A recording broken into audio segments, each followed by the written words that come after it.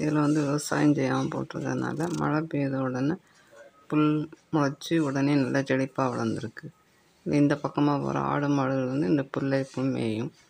இன்றைக்கி வந்து ஒரு பசு வந்து இந்த புல்லை மேய்ஞ்சிட்ருக்கு அது வந்து அக் அங்கே இங்கேயும் பார்க்காம குனிஞ்சதெல்லாம் நிமிராமல் ரசித்து ருசித்து புல் சாப்பிட்டுட்டு இருக்கு இதை வந்து எங்கள் வீட்டில் உள்ள பூனை ரசி ரசித்து பார்த்துட்ருக்கு.